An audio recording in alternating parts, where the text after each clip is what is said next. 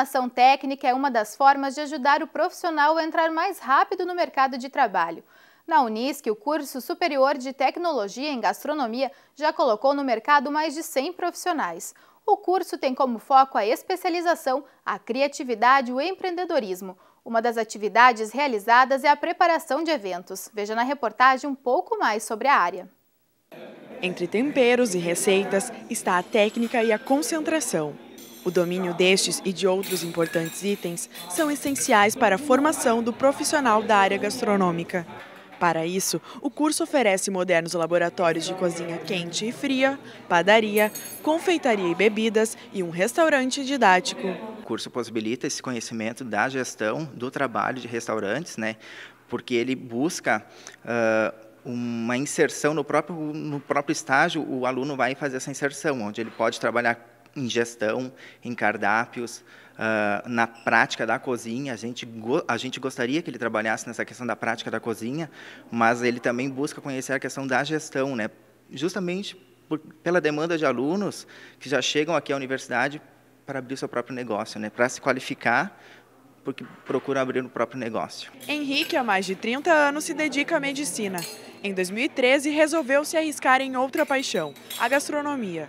O gosto pela prática gastronômica desperta no médico a vontade de atuar na área. Como médico, eu diria assim, ó, é, não é a ideia de trocar, mas no futuro, quem sabe, as áreas se abrem. Eu posso trabalhar no empreendimento que eu fizer e, e ter uma equipe trabalhando para mim. Eu posso trabalhar se eu quiser.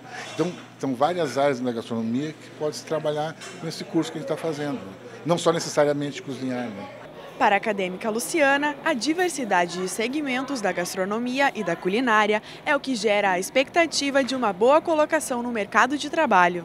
Primeiramente, né, a gente se acostuma assim ver primeiro a avó, a mãe da gente na cozinha, aquele preparando toda aquela refeição, e isso vai aguçando, né, as curiosidades e a gente vai tendo uma, um certo interesse na área. E o que mais eu acho que faz, principalmente para um solteiro ou para uma solteira, buscar essa área é o fato de morar sozinha, que a gente se vê apertado em situações que nos obrigam a buscar uma técnica, uma, uma culinária, uma, um curso como esse, né? Eu espero poder trabalhar na área, tá? Porque o curso é muito interessante e te abre um leque muito grande de, de opções, né?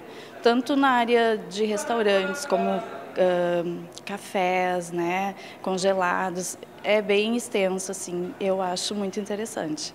Em uma das disciplinas, os acadêmicos realizam o planejamento e a organização de eventos. Pensar os convites, os custos, o preparo dos pratos, a decoração e a recepção dos convidados estão entre as principais tarefas. Então, esse evento uh, foi uh, elaborado para a equipe, para a turma toda, foi escolhido uma, um pessoal que seria da coordenação, desde a confecção dos convites, eh, da decoração. As receitas foram escolhidas entre nós todos. Alguns alunos ficaram responsáveis pelas fichas técnicas, né, de como fazer. E hoje todo mundo se divide. Ninguém está fazendo nada sozinho. Todo mundo está ajudando, termina uma receita, vai lá, faz a outra. Dizer, todo mundo em grupo. Tarde da quinta-feira, dia 5 de junho, foi dedicada ao Dia da Beleza. As mamães de recém-nascidos e também as que estavam acompanhando os filhos internados receberam atenção e o carinho das alunas do curso de Estética e Cosmética da Unisc. As acadêmicas da disciplina de Maquiagem e Visagismo 1, acompanhadas da professora Tatiele Katzer, cuidaram da beleza e da autoestima de quem estava nas alas da Maternidade e Pediatria do Hospital Santa Cruz.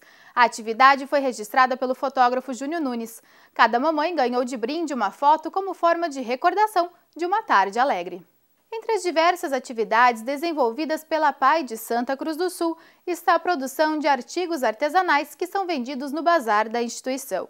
Neste mês, os alunos da oficina Mercado de Trabalho estão confeccionando garrafas de vinho decoradas com as cores verde, azul e amarelo. A ideia é vender os produtos a bares e restaurantes para auxiliar na decoração inspirada na Copa do Mundo. As vendas são revertidas em fundos para investir nos projetos da entidade e ajudar na compra de matéria-prima. Veja como você pode adquirir a sua.